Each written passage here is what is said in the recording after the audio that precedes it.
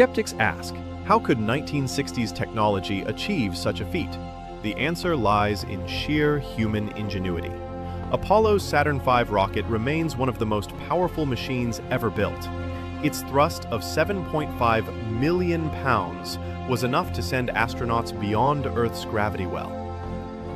No movie studio could fake the hundreds of engineers, scientists, and calculations that made the mission possible.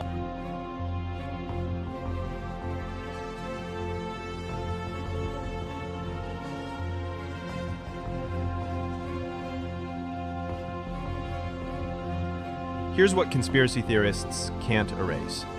The world was watching. Not just Americans. Soviet radar tracked Apollo across space. Independent observatories in Spain and Australia received direct signals from the moon. If it was all staged, America's greatest rival, the Soviet Union, would have exposed it instantly